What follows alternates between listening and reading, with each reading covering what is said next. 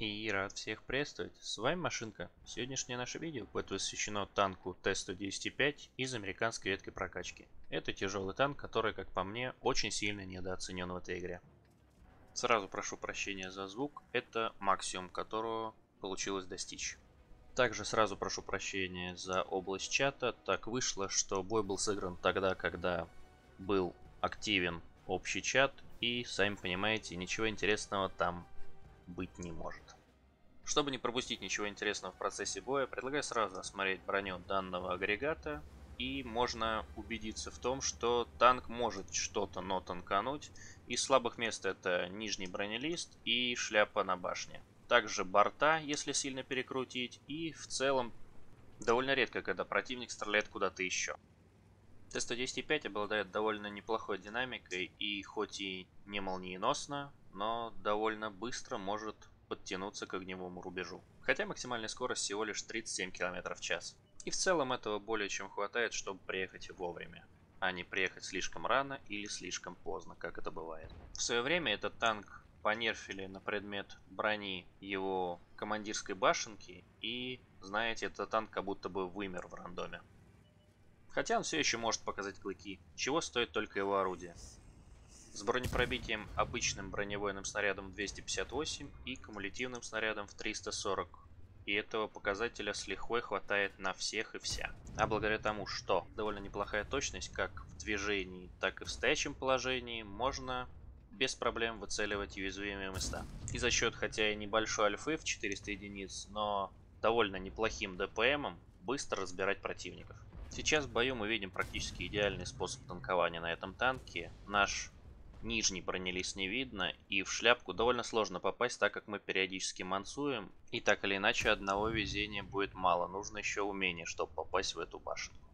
В ближайшее время танк немного апнут, но как по мне, без командирской башни он так и будет довольно печален в плане именно танкования, так как это слишком легкая мишень для опытного игрока. И как бы ты ни потел, как бы ты ни старался, в случае, если против тебя опытный игрок, в случае, если ты стоишь ниже, чем нужно, и выезжает первая твоя башенка из-за угла, тебе, скорее всего, в нее засадят. Боекомплектов 42 снаряда с лихвой хватает обычно на бой, и у меня вроде еще ни разу он не кончался. Запас прочности составляет 2200 единиц, и...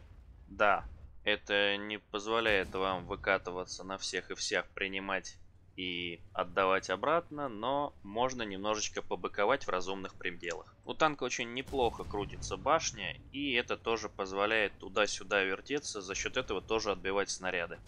Ну и также за счет углов минус 8 проблем с целями, которые находятся ниже вас, или слабыми местами, которые у противника находятся низко, проблем не будет. Ну и конечно же игра от башни на каких-то холмиках и пригорочках также допустима. Но огромное ведро на башне не всегда способствует этому. По оборудованию на Т-110.5 хорошо подойдет досыл, стаб оптика. В случае, если у вас уже хороший матерый экипаж, оптику можно заменить вентилятором и посредством базового обзора в 400 единиц без проблем раскачать обзор до максимума. Из минусов хочется отметить то, что боеукладку довольно часто критуют бок под башню и довольно нередко танк поджигается в корму. И хотя ящик колы совершенно не способствует устранению пожара, я предпочитаю его огнетушителю. Да и что может быть лучше после пожара выпить охлажденную бутылочку колы.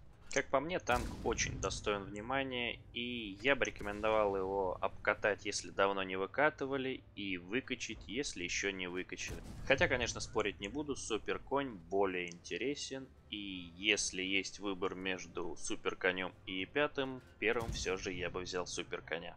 Также на танке довольно невысокая планка мастера, если вдруг у вас повисло это ЛБЗ, его можно без проблем пройти на этом танке. Полностью отказываться от бронебойных снарядов, как я в этом бою, конечно же не стоит. В 90% случаев я бы пробил те же самые танки и ББшками, потому что стреляю в одни и те же места.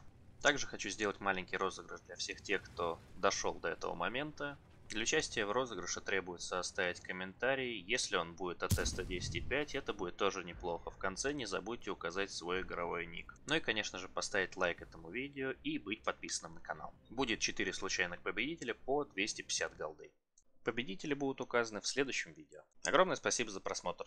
Надеюсь, что этот мини-обзор вам понравился. До встречи в следующем видео.